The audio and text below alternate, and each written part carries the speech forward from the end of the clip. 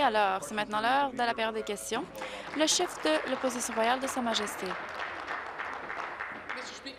Monsieur le Président, ma question est pour la première ministre. Un autre jour, un autre scandale sur l'énergie. Pendant les sept derniers jours, ça a été difficile pour les libéraux. 12 millions de dollars dépensés sur des consultants et des publicités. 28 millions de dollars perdus en cours pour un projet qui n'a même pas été construit. Et hier, c'était 81 millions de dollars dans une, erreur de comptabilité. Et aujourd'hui, on apprend que Northland Power a gagné leur affaire en cours contre les libéraux. Et on leur a donné 95 millions de dollars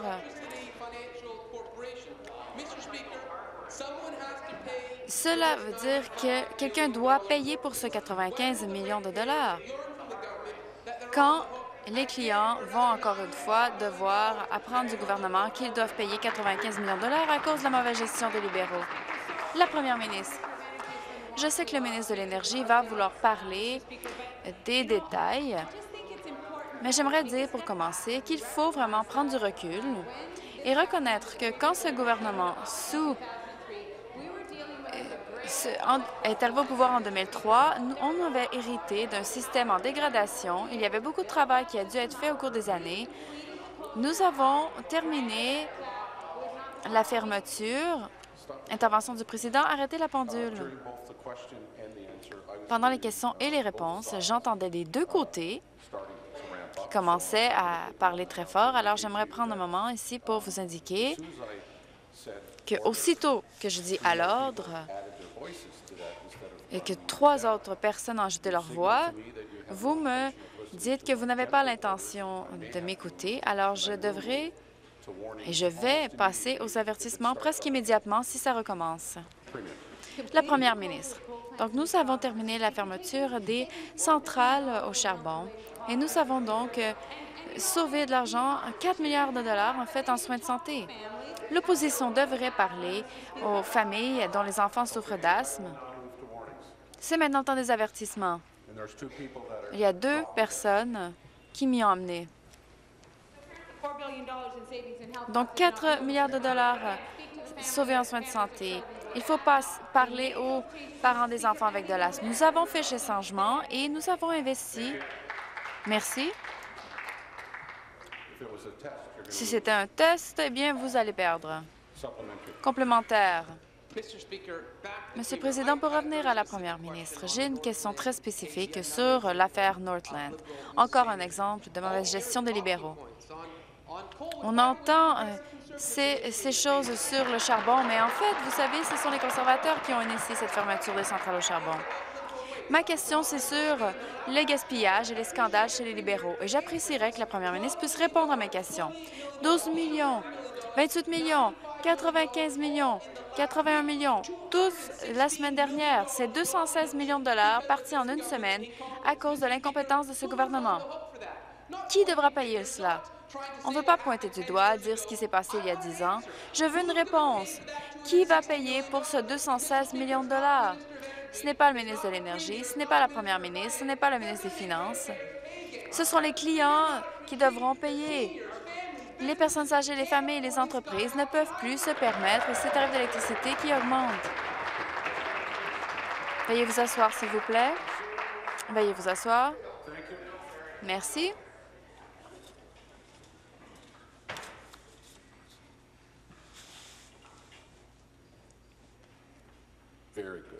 Très bien. Vous avez appris le message. Ne faites pas cela. La première ministre, c'est très important pour moi que les gens puissent avoir de l'énergie propre, qu'ils puissent se permettre financièrement aussi et que ce soit de l'énergie euh, fiable. Député de Renfrew Nipissing Pembroke, vous êtes averti. La première ministre, nous avons fait des changements pour aider les gens à pouvoir se payer l'énergie. Et ce qui s'est passé il y a 10 ou 15 ans, c'est important pour le système d'électricité. Et le chef de l'opposition peut avoir une, vision très étroite et prétendre qu'il n'y a pas d'histoire.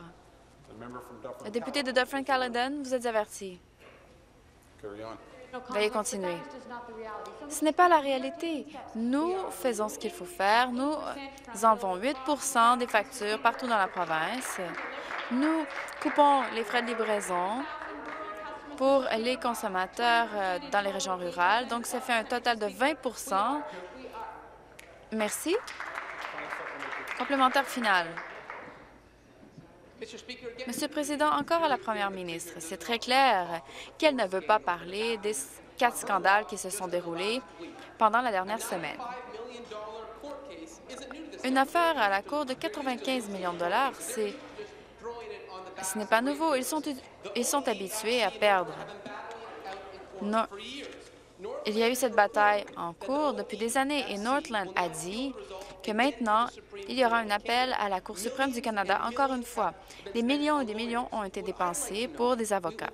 Ce que j'aimerais savoir, c'est que nous savons quel est le coût de la décision, mais est-ce que la première ministre peut nous dire combien elle a demandé au gouvernement de dépenser en frais légaux? Soyez clairs vous faites payer euh, les Ontariens. Le ministre de l'Énergie. Merci. Je suis heureux de répondre à cette question. Vous savez, nous sommes au courant de la situation. C'est encore en cours. C'est encore euh, euh, à la Cour, donc nous ne pouvons pas faire de commentaires. Mais ce que je peux dire, c'est que nous faisons du bon travail de ce côté-ci pour aider les familles et les entreprises dans la province. Nous avons réduit les factures de 8% à partir du 1er janvier pour les familles, les petites entreprises et les fermes. Et ceux qui vivent dans les régions rurales et éloignées, c'est 300 000 familles qui vont voir une réduction de 20% de leur facture d'électricité. Et quant au fait que de la de l'accord avec le Québec, nous allons amener 2 terawatts d'électricité qui vont pouvoir euh, nous aider à sauver une mégatonne euh, d'émissions de gaz à effet de serre. C'est une réduction de 25% Merci. Nouvelle question. Le chef de l'opposition. Ma question est pour la première ministre. Comme le gouvernement ne va pas répondre à nos questions quant au dernier scandale sur l'électricité, essayons un autre sujet. Essayons d'avoir une conversation sur les mines. En mai 2012, le gouvernement a promis de la nouvelle infrastructure pour le cercle de feu. En 2013, dans le budget, on a dit qu'on améliorait l'accès à la région. Et ensuite, en 2014, dans le budget, on s'est engagé à 1 milliard de dollars pour le cercle de feu. Encore en 2015, même chose, même promesse. Et bien, surprise, en 2016, dans le budget, encore une fois, intervention du président, le ministre de l'Agriculture vous a averti.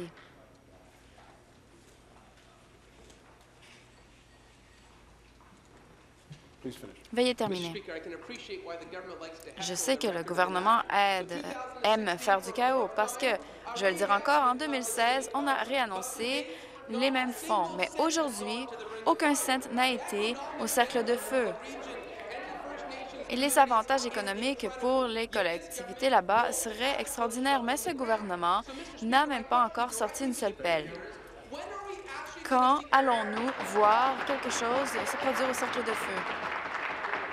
La première ministre.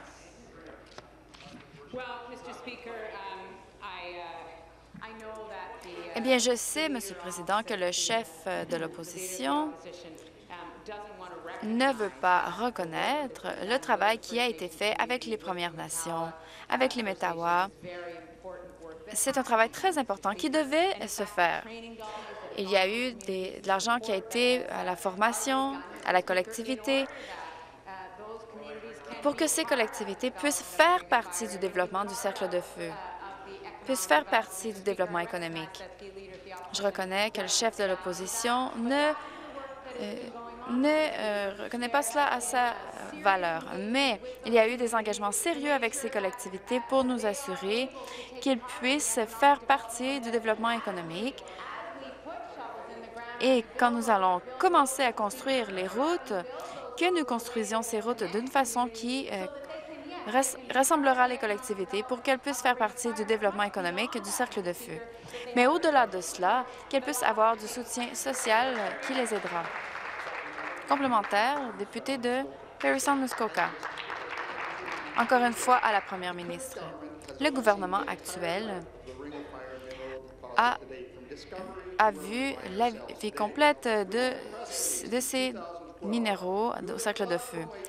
En 2012, on croyait que cette mine de chromite serait euh, quelque chose qui se ferait. Et il y aurait des emplois dans le nord de l'Ontario.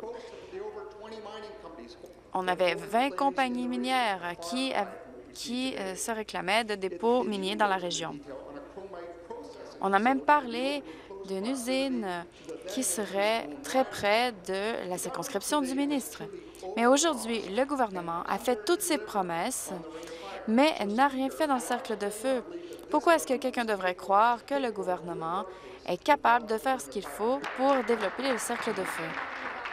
Le ministre du Développement du Nord et des Mines. Nous travaillons en effet très fort pour progresser dans le cercle de feu. Et cela veut dire que nous travaillons avec tous nos partenaires, avec l'industrie, le gouvernement fédéral, et comme l'a dit la première ministre, avec les Premières Nations pour que ce projet avance. Nous avons signé un accord cadre en 2014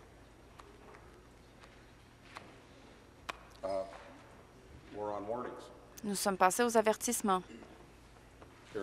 Veuillez terminer. Quand nous avons signé cet accord en 2014 avec la Première Nation Métawa, nous nous sommes engagés à travailler avec eux pour l'infrastructure régionale, pour les impacts socio-économiques, pour le partage des revenus. Ces discussions en sont à un point très important maintenant et nous avons pris des décisions concernant les corridors communautaires. Les gens de l'opposition ne croient pas que nous devrions avoir ce genre de conversation, mais nous travaillons fort. C'est un dossier compliqué et nous sommes optimistes que nous allons continuer à avoir du progrès en ce sens. Complémentaire final. Encore une fois à la première ministre. Je crois que j'ai entendu cette réponse euh, de la part de votre ministre, mais les communautés des Premières Nations dans les cercles de feu sont très importantes pour le développement. Elles ont également beaucoup à gagner. L'industrie minière emploie plus de personnes autochtones que tout autre secteur, 14% des employés dans ce domaine. C'est donc important pour ces collectivités de voir du progrès. Donc, en plus des accords cadres de négociation, quel progrès tangible a été fait à ce dossier? Veuillez vous asseoir, s'il vous plaît. Veuillez vous asseoir. C'est un risque que vous avez pris. Il est crucial de progresser dans l'infrastructure de transport dans le cercle de feu et c'est pourquoi nous travaillons de concert avec le gouvernement fédéral et c'est un projet significatif qui mérite du soutien du gouvernement fédéral. Quant au travail avec l'industrie, il y a un nombre important d'entreprises qui ont exprimé leur intérêt et nous allons travailler avec ces partenaires et quant aux Premières Nations, c'est un engagement crucial pour s'assurer que les, décisions prises qui auront un impact direct sur ces communautés seront prises par elles-mêmes également. C'est pourquoi nous avons ces discussions sous cet accord régional qui s'assurera que les décisions prises sont partagées par tous les partenaires, pas seulement les Premières Nations, mais également l'industrie et le gouvernement fédéral. Nous nous sommes engagés et nous continuons à travailler fort en ce sens. Veuillez arrêter la pendule. Le ministre, quand je me lève, vous vous asseyez. Nouvelle question, la chef du troisième parti. Hier, la police a révélé qu'au moins huit personnes âgées de foyers de soins de longue durée ont présumément euh, été tuées à Woodstock et London. C'est une situation horrible, tragique, et nos sympathies vont aux familles de ces personnes. J'ai compris qu'il y a une enquête de la police en cours maintenant et je sais que personne ici ne voudrait rien faire pour compromettre cette enquête. Cependant, il y a des questions claires qui doivent être posées aujourd'hui. À la première ministre, les Ontariens veulent savoir comment il est possible que ces choses puissent se passer sans être détectées dans des foyers de soins de longue durée en Ontario pendant sept ans. La première ministre, comme je l'ai dit hier, c'est un cas extrêmement euh,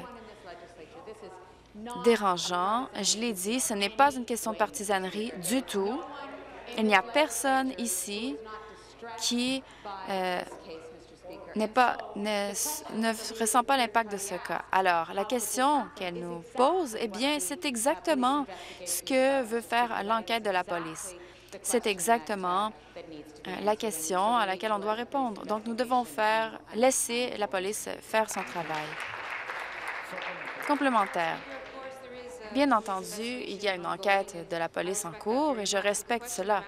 Mais la question que je pose a à voir avec le ministère de la Santé des Soins de longue durée et leur procédure de surveillance. C'est un exemple tragique d'abus et de mauvais traitement dans notre système de soins de longue durée, mais nous savons que ce n'est pas la première fois. Les familles de 78 000 Ontariens en établissement de soins de longue durée veut savoir ce que le gouvernement a fait pendant les 24 dernières heures pour savoir que leurs êtres aimés sont en sécurité. Est-ce que on va révéler les mesures de surveillance dans le système de soins de longue durée? Le ministre de la Santé et des Soins de longue durée.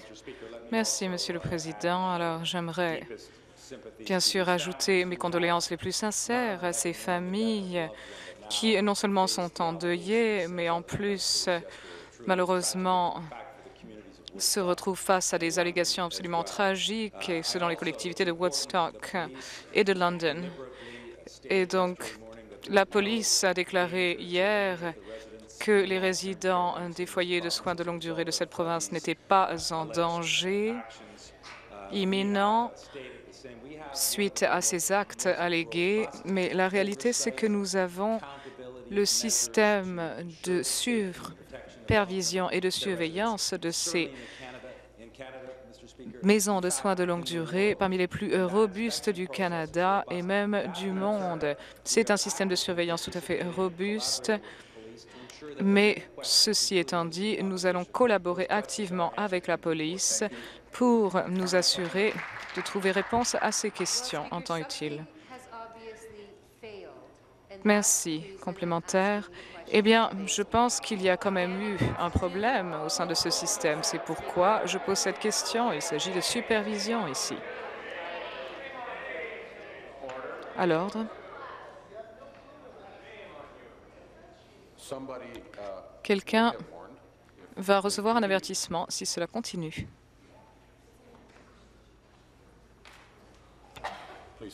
Terminé. Eh bien, Monsieur le Président, ceci s'est déroulé au cours de sept ans et personne n'en savait rien.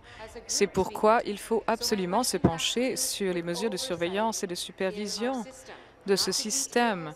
Il ne s'agit pas des détails de l'enquête. Nous savons tous que ces détails seront annoncés ultérieurement mais il faut se pencher sur les mesures de protection des aînés vulnérables qui vivent dans ces foyers de soins de longue durée. Il y a 78 000 résidents dans ces foyers en Ontario aujourd'hui et leurs familles ont des questions simples auxquelles il faut trouver réponse.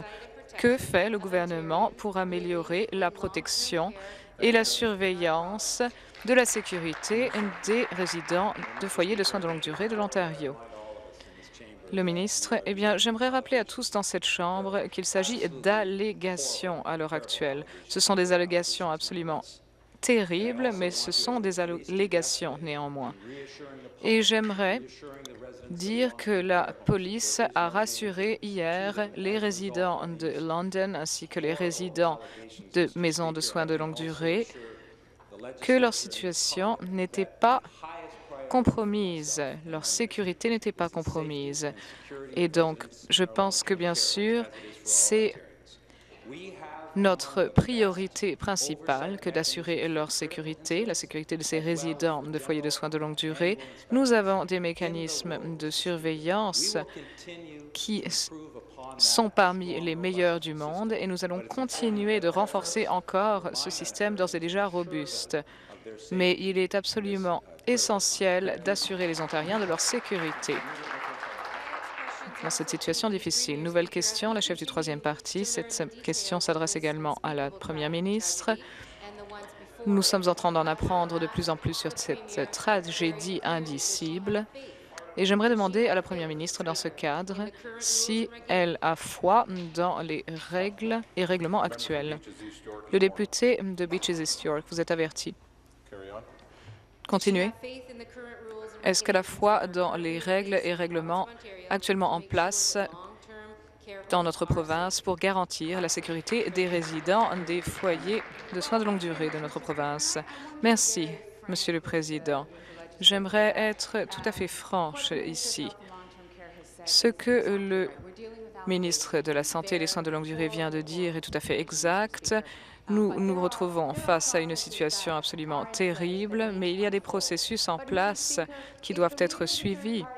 Mais si la chef du troisième parti insinue que je ne veux pas faire la lumière sur ces faits, que je ne m'intéresse pas à la réalité à la vérité, eh bien, elle a tout à fait tort, Monsieur le Président. Je pense que nous avons des systèmes en place qui sont conçus pour protéger les personnes âgées, mais également la présomption d'innocence. Il faut absolument trouver réponse à ces questions très difficiles. Et si, Monsieur le Président, au cours de ces processus, bon, je continuerai lors de ma réponse à ma complémentaire. Complémentaire. Je suis d'accord avec la Première ministre, Monsieur le Président, car il s'agit d'une situation vraiment tragique. Il s'agit des parents ou des grands-parents de quelqu'un, des membres de la famille, de nombreuses personnes. Et il faut absolument que les Ontariens sachent ce qui est fait au niveau du gouvernement pour s'assurer que ce genre de tragédie ne se reproduise plus jamais. Alors, est-ce que le ministre de la Santé et des Soins de longue durée va revoir les mécanismes de surveillance de ces foyers de soins de longue durée. Réponse, eh bien, il y a des processus en place et il faut les laisser suivre leur cours. Il faut que la police puisse faire son travail pour faire la lumière sur ces faits. Et ce sont des questions très justifiées qui sont posées par les familles et par les Ontariens en général sur cette affaire. Mais notre responsabilité en tant que gouvernement et ministère compétent est de nous assurer que les systèmes et les mesures de protection adéquats sont en place. Et s'il faut revoir notre système, eh bien, nous le ferons si nécessaire, mais pas sous la pression politique du NPD, mais parce que nous avons tous besoin d'obtenir ces réponses. Mais dans l'intervalle, il faut que la police puisse faire son travail. Complémentaire final. Eh bien, Monsieur le Président, ces décès sont absolument tragiques et j'ai peine à imaginer la douleur de ces familles. Il ne s'agit pas d'entraver une enquête policière, il ne s'agit pas d'entraver une enquête portant sur cette, tragédie, mais il y a 78 000 personnes en foyer de soins de longue durée aujourd'hui en Ontario, et cela signifie que 78 000 familles se tournent vers la Première ministre pour qu'on les rassure sur la sécurité des résidents de ces foyers de soins de longue durée. Quand est-ce que la Première ministre va s'assurer que nous ayons le système de supervision le plus efficace possible de ces établissements? Le ministre de la Santé et des Soins de longue durée. Le ministre, Monsieur le Président, nous avons parmi les mécanismes de supervision de ces foyers les plus robustes du monde entier. Nous allons continuer de travailler à son renforcement. Mais j'aimerais parler aux familles concernées par ces allégations. Et j'aimerais les assurer qu'en tant que gouvernement, nous ferons tout ce qui est en notre pouvoir pour répondre à leurs questions, pour répondre aux questions qu'ils se posent pour répondre aux questions que les Ontariens se posent également, et nous le ferons en collaboration avec l'enquête policière en cours. Et j'aimerais également vraiment rassurer les 78 000 individus qui vivent en foyer de soins de longue durée que rien n'est plus important pour moi, et je m'y engage en tant que ministre de la Santé et des soins de longue durée, que vraiment ma priorité numéro un est d'assurer leur sécurité dans leur foyer. Et il s'agit de ma mission et de ma promesse à ces personnes. Merci. Nouvelle question, le député de Leeds-Granville.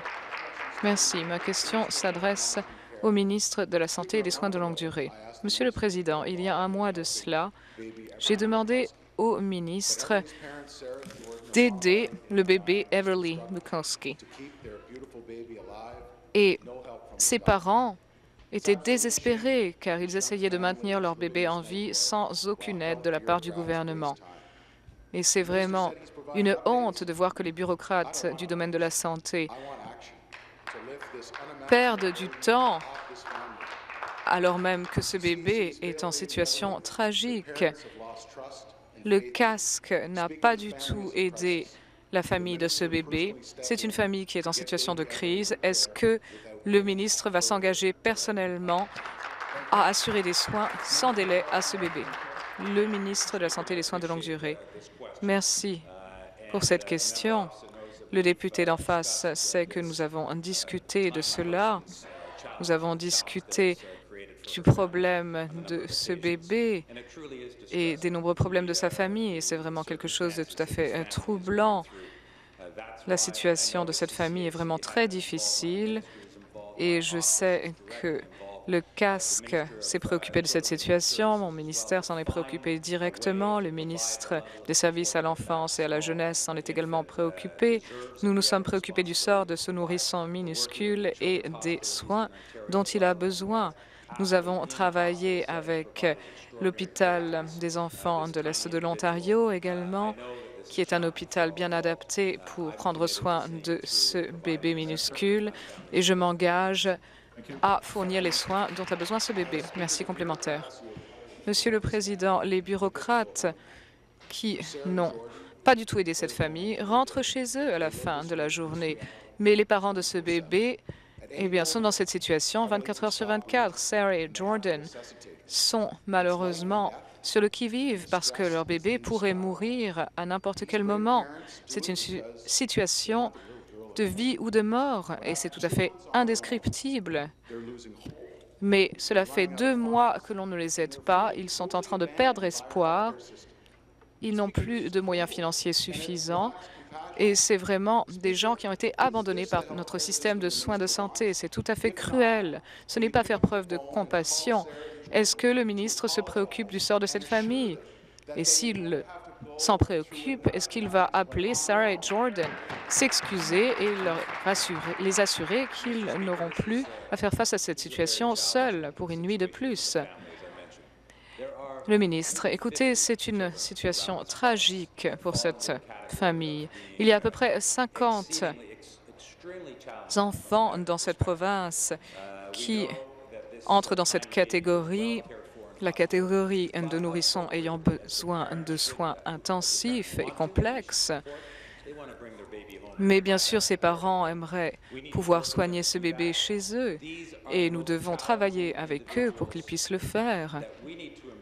Et ce sont vraiment des cas très difficiles, mais il faut trouver la flexibilité nécessaire pour leur fournir le soutien nécessaire.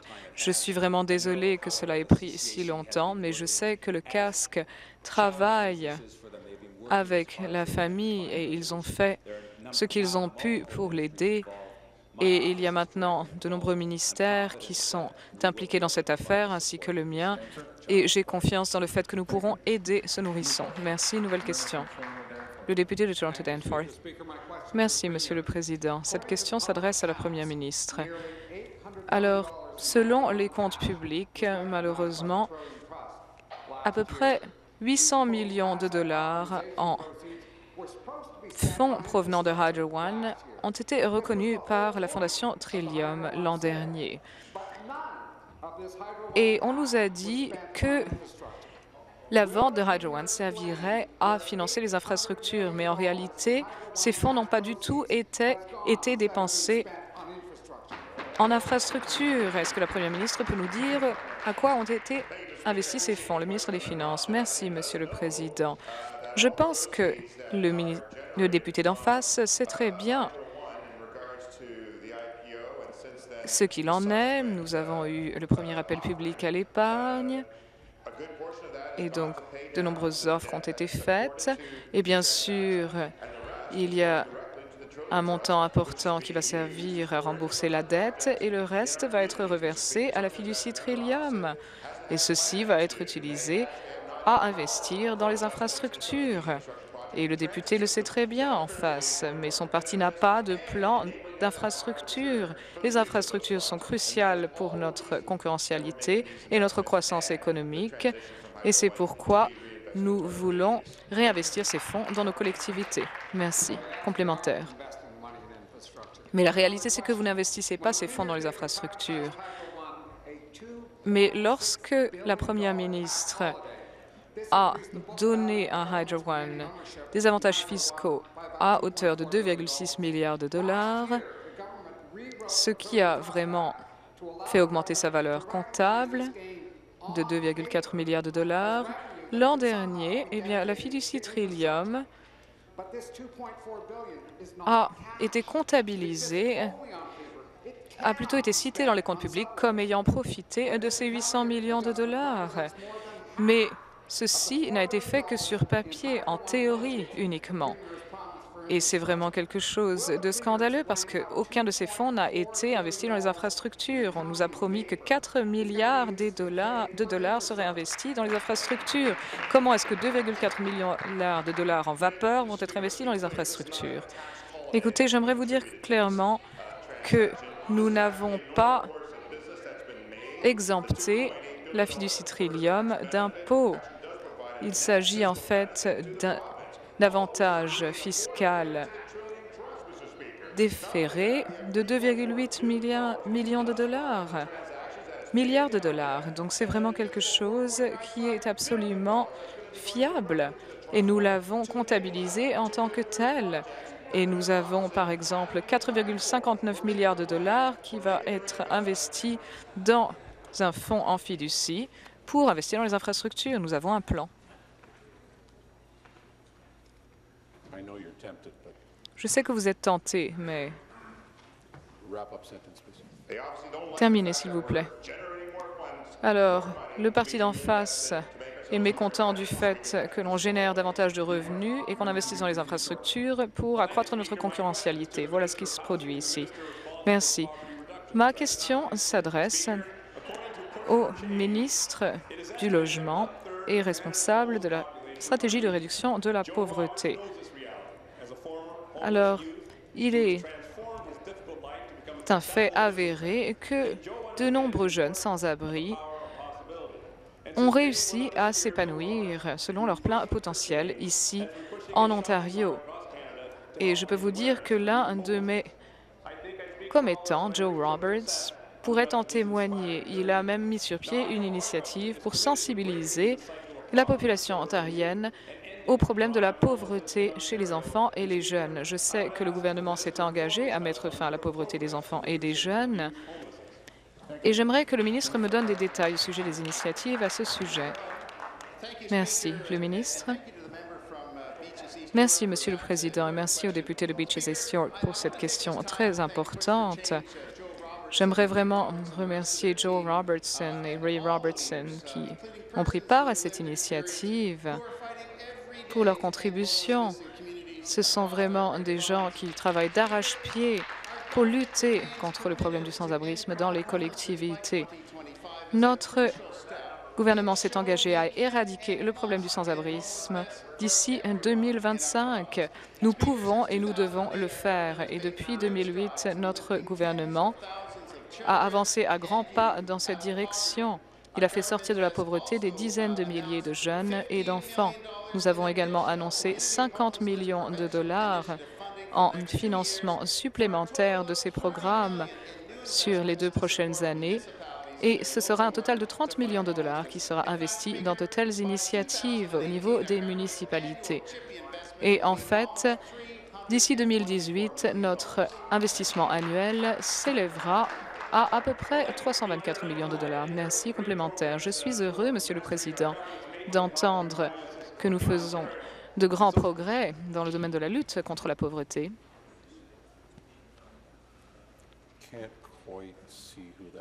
Je ne vois pas très bien qui a chahuté. Terminez, s'il vous plaît. Eh bien, Monsieur le Président, j'ai eu le plaisir aujourd'hui et l'honneur de participer à une annonce avec le ministre du Logement et responsable de la stratégie de réduction de la pauvreté, qui donc portait sur l'attribution de 400 000 dollars au Fonds local de réduction de la pauvreté. Et donc, c'est vraiment quelque chose de très important pour mes commettants et pour les Ontariens en général. Je suis heureux que le ministre prenne les choses très au sérieux et prenne des mesures dans ce domaine. Et donc, je pense vraiment que c'est quelque chose de très important à souligner, car il faut aider les gens à effectuer la transition vers un logement stable. Est-ce que vous pourriez nous donner des détails, Monsieur le ministre? Le ministre? Merci, Monsieur le Président. Merci encore aux députés de Beaches East York pour cette question. Notre gouvernement va investir 50 millions de dollars sur six ans dans le Fonds de réduction de la pauvreté. Et cette année, en fait, nous allons investir à hauteur de 16 millions de dollars dans le Fonds de réduction de la pauvreté au niveau local. Et plus de 5 millions sur cette somme seront utilisés à soutenir de nombreux programmes communautaires destinés à améliorer la vie des personnes sans abri et à les faire sortir de la pauvreté. Et donc, il y a eu une subvention qui a été attribuée en septembre. Et grâce à de tels programmes, nous pouvons aider davantage de personnes dans toute la province. Et donc, c'est vraiment des organismes communautaires qui nous aident à mesurer nos progrès et à continuer nos efforts pour aider à rendre l'Ontario le meilleur endroit où vivre. Merci. Ma question s'adresse au ministre du Développement économique et de la croissance. La semaine dernière, j'ai posé une question concernant la démographie, concernant la décision prise par le gouvernement. Monsieur le Président, c'est comme les petites entreprises ou les entreprises familiales les entreprises en démarrage qui sont l'épine dorsale de l'économie avec et ces mêmes entreprises euh, ne sont plus en mesure d'être concurrentielles. Monsieur le Président, la semaine dernière, le Président, aucun gouvernement n'a jamais appuyé les entreprises comme l'a fait le gouvernement. Ce gouvernement, complètement coupé de la réalité, ce gouvernement a des politiques, factures d'électricité exponentielle, aucun plan pour les petites et moyennes entreprises. Comment est-ce que le ministre être le, meilleur ministre pour les petites entreprises lorsqu'un plus grand nombre de ces entreprises quittent l'Ontario? Ministre du Développement économique, euh, et de la croissance. Nous avons les meilleures entreprises en démarrage et les meilleures petites entreprises en Amérique du Nord, sinon dans le monde. Nous avons des partenariats avec les petites entreprises et toutes les choses que l'on fait, déduction fiscale, et nous sommes le leader au Canada et en, et en Amérique du Nord. Et nous avons fait des efforts et le député devrait appuyer notre bilan. Nous sommes très fiers de notre bilan en Amérique du Nord. Nous sommes à la limite, à la fine pointe de la technologie en matière euh, de croissance. Nous sommes les leaders à l'échelle du Canada et dans le monde parce que nous avons un avenir prospère pour les entreprises. On devrait en être fiers. On devrait être fiers de ces petites entreprises complémentaires. De retour au ministre, est-ce que le ministre parle du mauvais dossier et finalement des subventions ou des crédits aux grandes entreprises sur invitation et les petits fabricants sont en crise?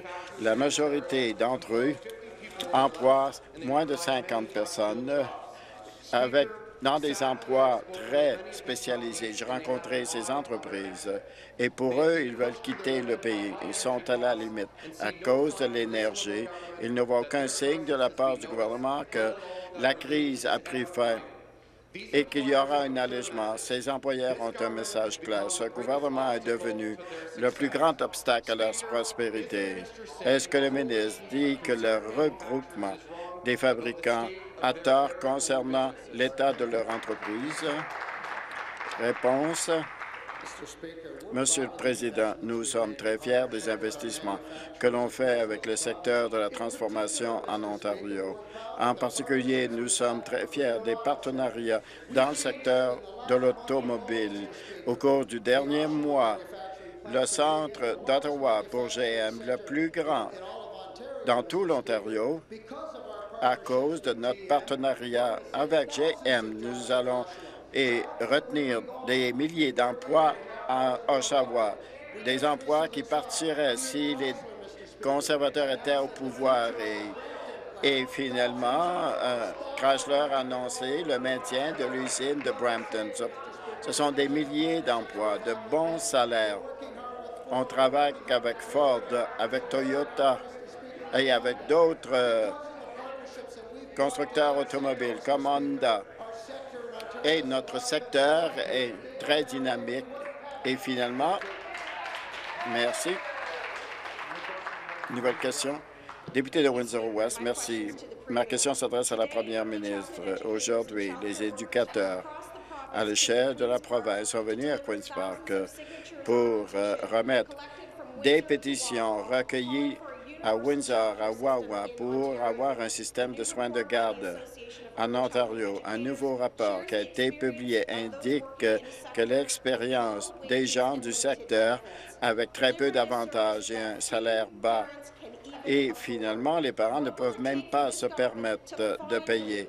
Qu'est-ce que le gouvernement euh, attend pour s'engager pour avoir un système de garde universel abordable en Ontario.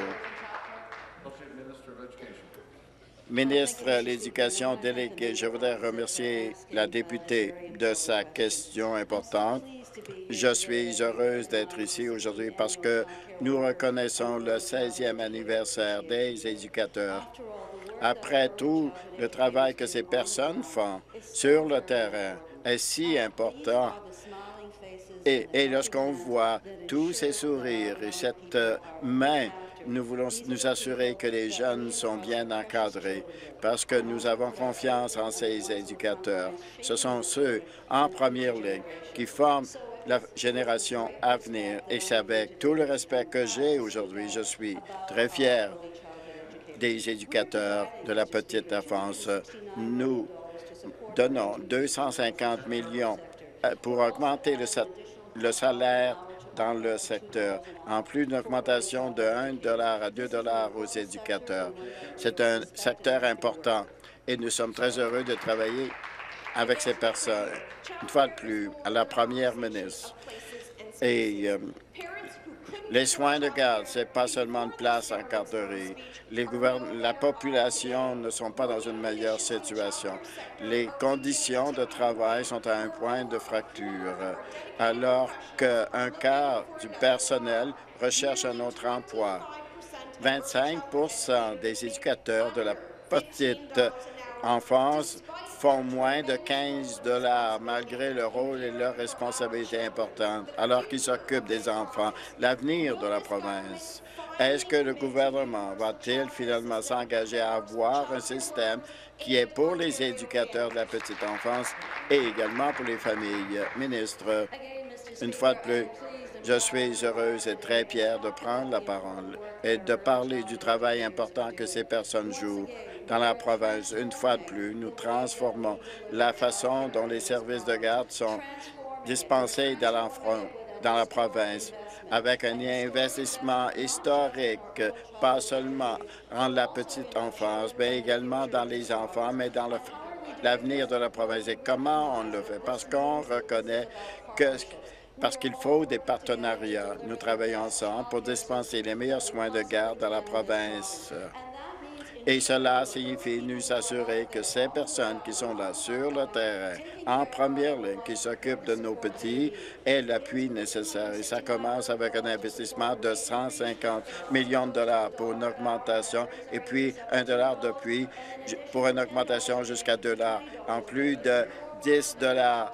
Et nous pouvons faire davantage. Nouvelle question. Député de Kitchener Centre, ma question s'adresse au ministre du Développement du Nord et des Mines.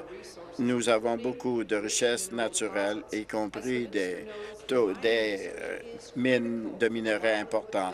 Et c'est important pour la vie dans le nord de l'Ontario et c'est un moteur de plusieurs collectivités dans le Nord. Les gens du Nord veulent savoir si le gouvernement comprend bien la situation et prend des mesures pour s'assurer que le secteur de l'exploitation minière prospère.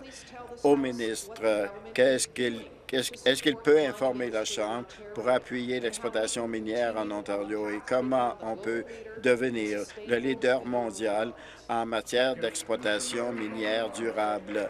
Ministre du Développement du Nord et des Mines, je voudrais remercier la députée de sa question qui est importante et le gouvernement s'engage à, nous assurer que le secteur de l'exploitation minière a un avenir maintenant et à l'avenir.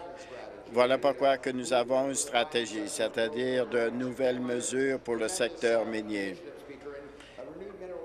c'est-à-dire une stratégie en matière de développement d'exploration minière avec euh, une subvention pour des investissements dans cette région. En, outre, cela veut dire moderniser la façon dont on fait les affaires avec des modifications de la loi sur les MED, s'il est adopté, va avoir un registre en ligne intégré sur les réclamations minières. Je suis très heureux de voir de travailler pour que l'Ontario soit le leader mondial en matière de développement minier dans le monde. Merci. Je voudrais remercier le ministre de sa question, encourageant de voir que le gouvernement comprend la situation et l'importance du secteur de l'exploration minière et d'avoir de la croissance dans ce secteur. Mais avec la chute des biens de base, qu'il faut faire des investissements ciblés. Et l'Ontario doit travailler avec tous les partenaires de ce secteur. C'est un moment parce qu'il y a des gens aujourd'hui de l'Association minière de l'Ontario. Est-ce que le ministre veut-il bien expliquer comment le gouvernement veut assurer l'innovation dans ce secteur et comment cela va aider le nord de l'Ontario et la croissance. Merci, Monsieur le Président. Merci à la députée de Kitchener-Centre. Bien que la réputation de l'Ontario comme une destination de choix pour le développement minier, nous comprenons que la province et son développement est en constante évolution et doit faire face à des défis. Nous voulons aider les entreprises à faire, euh, faire face à ces défis. Voilà pourquoi on veut avoir un système plus efficace pour une concurrence dynamique et notre gouvernement apprécie très bien le ce secteur chaque année avec euh, la pierre angulaire du secteur comme la députée l'a mentionné, c'est le jour de l'exploitation minière en Ontario, à Queen's Park. Nous invitons tous les députés et tous les députés, parce qu'il y a une réception ce soir pour rencontrer les membres de l'Association minière de l'Ontario. Nouvelle question. Député de Perth, Wellington. Merci. Ma question s'adresse au ministre de l'Énergie lorsqu'on parle du gâchis de la part du gouvernement dans ce dossier. Le, gouvernement refuse de donner le prix, mais comme ne sont pas d'accord. Et finalement, nous avons des condos et le taux global d'ajustement correspondait à 2 600 Un autre commettant a reçu un projet, une facture de 100 sans électricité et quelqu'un m'a communiqué avec moi elle s'est effondrée en lampe à cause de l'augmentation. Et si ce n'est pas une crise, c'est quoi alors? Ministre de l'Énergie. Merci, Monsieur le Président.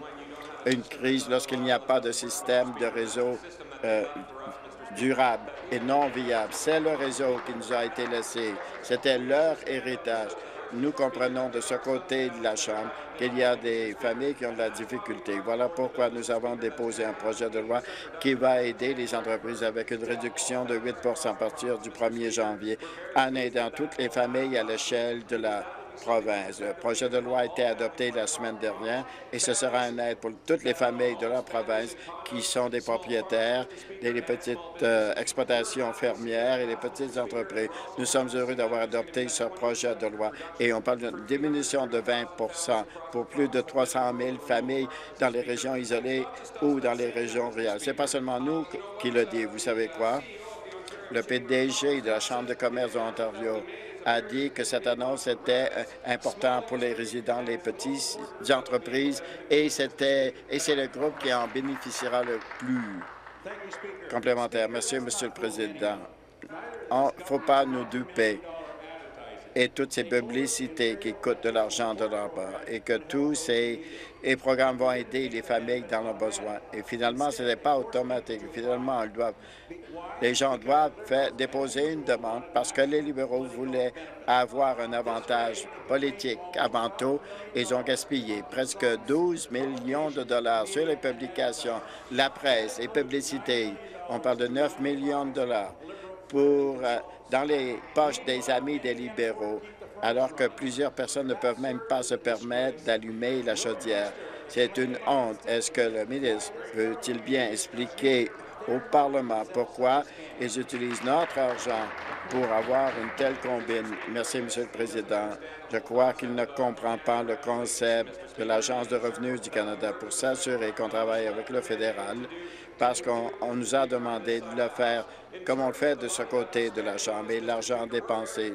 Nous sommes très fiers de ce côté de la Chambre que 21 milliards ont été dépensés pour avoir un appui, appui de 145 familles euh, dans 10 mois et puis de 14 euh, nouvelles familles qui adhèrent au programme euh, chaque mois. Et nous avons un budget de 250 millions de dollars pour aider les familles à l'échelle de la province. Ce qui est malheureux, c'est que de ce côté de la Chambre, ils ne parlent pas du programme parce qu'ils savent que ça va aider les familles. Ce qu'ils aiment faire, c'est-à-dire inventer des chiffres de toutes pièces. Nous voulons nous assurer que nous avons un programme qui aide 145 ménages, 145 000 ménages en Ontario. Nous voulons que davantage de familles adhèrent au programme. Voilà ce que l'on fait de ce côté de la Chambre.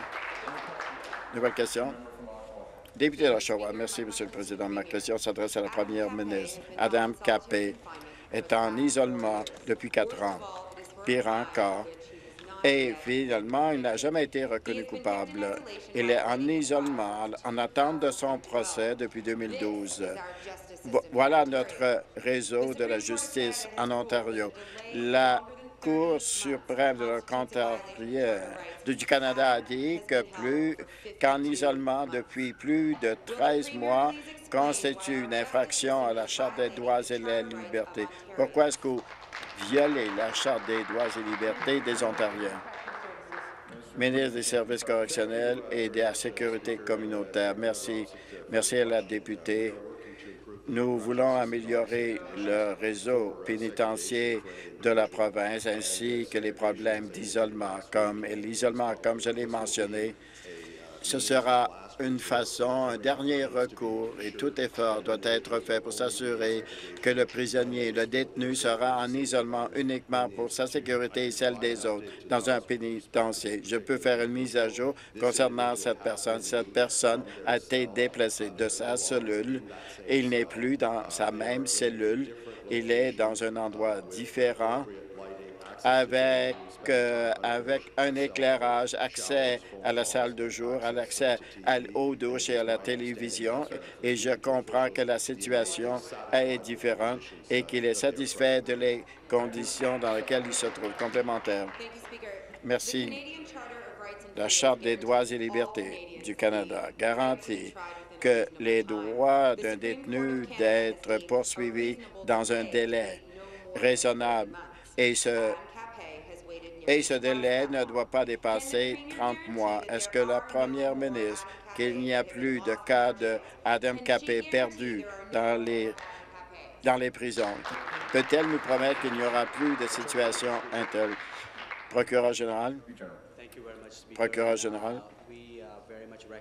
Nous reconnaissons que c'est une situation difficile et on reconnaît que des questions sont posées, qu'il y a des inquiétudes Avertissement, Hamilton et Stony Creek. Le gouvernement prend la chose très au sérieux et que nous voulons respecter la Charte des droits et libertés du Canada.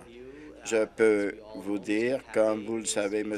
Capé euh, face à des accusations très graves et en tant que procureur général et qu'on ne peut pas prétendre avoir déjà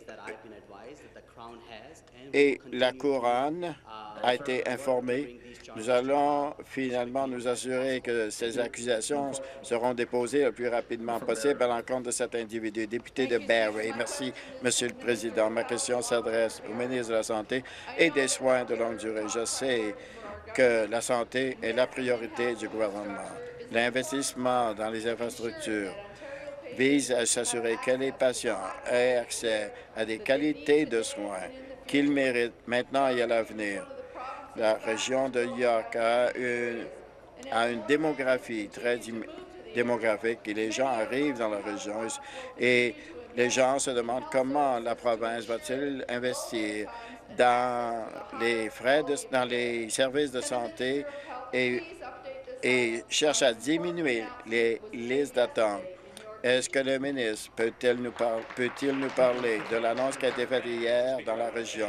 Je voudrais remercier la députée de cette question importante et je voudrais profiter particulièrement de l'occasion pour remercier le ministre des Transports et le député de Vaughan pour ses efforts constants pour s'assurer qu'il y a des investissements dans des services euh, à la fin pointe de la technologie et de qualité. Nous avons investi 12 millions de dollars au cours de la prochaine décennie pour améliorer la situation des hôpitaux. Actuellement, il y a 35 euh, projets d'hôpitaux importants en cours, mais l'hôpital Mackenzie de Vaughan il y avait eu une annonce, il y avait le comité le ministère pardon, le ministre des Services communautaires, le ministre de la Recherche et de la Science et le député de Richmond Hill. Nous étions là. Nous avons eu une annonce historique pour annoncer le projet pour avoir un nouvel hôpital euh, Mackenzie de Vaughan. Complémentaire, merci, Monsieur le ministre, de votre réponse. C'est tout à fait rassurant de savoir que notre gouvernement s'engage à construire les projets d'infrastructures hospitalières à l'échelle de la province. Je sais que les gens de cette région sont tout à fait ravis de ce projet. Je sais que beaucoup de résidents s'intéressent à quels services de soins de santé seront offerts à cet hôpital de Mackenzie Vaughan. Est-ce que le ministre pourrait élaborer quant à les services qui seront offerts à cet hôpital? Le ministre. Merci, Monsieur le Président. Je voudrais remercier la députée Berry de sa question. L'hôpital Mackenzie Vaughan sera tout à fait aux avant-postes, aura une technologie intégrée et aura des appareils médicaux qui euh, communiquent de façon directe afin d'optimiser la qualité des soins dispensés. Il y aura 350 lits, 1800 membres du personnel à temps plein, 100 médecins spécialistes donc, euh, tout ce que devrait avoir un hôpital de fine pointe. En commençant le projet hier, nous avons commencé une mesure concrète visant à fournir des soins axés sur les patients pour les, gens de Vaughan et pour la région de York. Nouvelle question, député de Lennox, Lennox et Addington. Merci. Au procureur général. La semaine dernière, dans cette Chambre, le procureur général m'a parlé de la semaine en matière de l'accès à la justice. Il a parlé des statistiques et des chiffres, et moi, j'avais parlé du côté humain en ce qui concerne l'accès à la justice.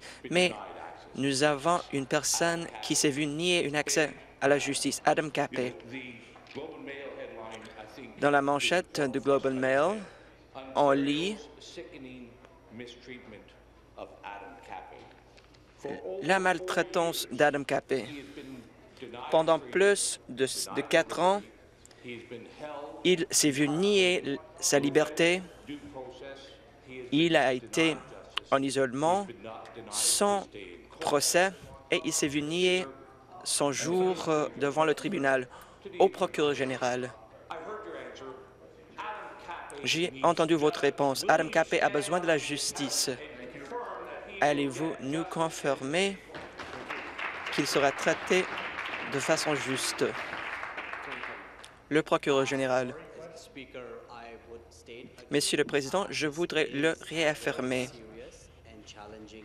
C'est un dossier tout à fait difficile et je comprends que les gens sont préoccupés. En tant que gouvernement, nous prenons très au sérieux ces préoccupations et je le prends également très au sérieux en tant que procureur général. Comme je l'ai dit, M. Capé fait face à des chefs d'accusation très graves. En tant que procureur général, je suis obligé de ne pas influencer les résultats de ces poursuites et de ce procès.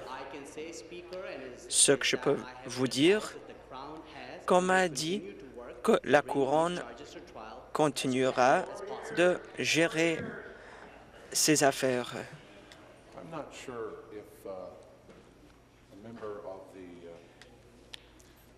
Il me semble que les députés ne devraient pas remettre en question si un avertissement suffit. Complémentaire. Encore une fois au procureur général. J'ai parlé de la situation tragique au sein de notre réseau de justice. 43% des personnes faisant face aux accusations criminelles qui sont euh, détenues finalement se voient leur accusation retirée avant le procès. C'est un bilan tout à fait terrible du procureur général, Adam Capé. Sera-t-il l'un de ces statistiques évoquées par le procureur général?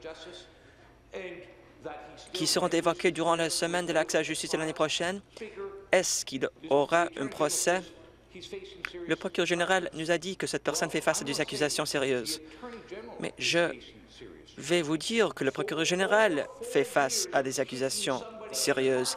Quatre ans d'isolement sans le droit à un procès. C'est une accusation très sérieuse et vous devez la prendre très au sérieux. Le procureur général. Monsieur le Président, c'est une situation tout à fait sérieuse. Les accusations sont également tout à fait sérieuses. Je dirais aux députés de ne pas spéculer quant aux circonstances particulières. On ne devrait pas spéculer en ce qui concerne le travail de la Couronne. Je voudrais parler de l'accès à la justice.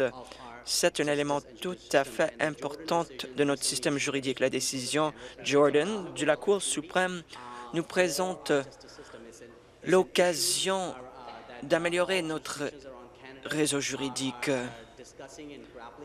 Toutes les régions du pays sont en train de discuter de ces questions et durant les réunions interprovinciales les plus récentes, nous avons passé beaucoup de temps en parlant des répercussions de ce tranchement et les stratégies qui seront mises en place afin de garantir un accès à la justice dans les plus brefs délais. J'informe la Chambre que j'ai déposé le rapport annuel 2015-2016 du commissaire à l'environnement de l'Ontario. Il n'y a pas de vote différé. Les travaux de la Chambre reprendront à 15 heures.